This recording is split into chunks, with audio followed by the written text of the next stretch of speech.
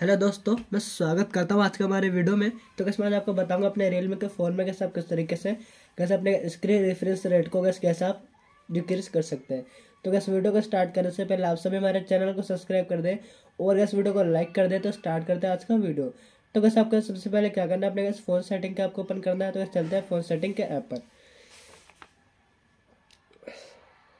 तो कैसे phone setting के ऐप तो कैसे मैंने कैसे कर लिया है ओपन